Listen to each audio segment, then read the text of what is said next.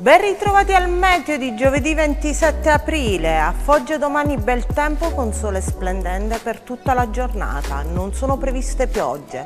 Durante la giornata di domani la temperatura massima registrata sarà di 22 gradi, la minima di 8.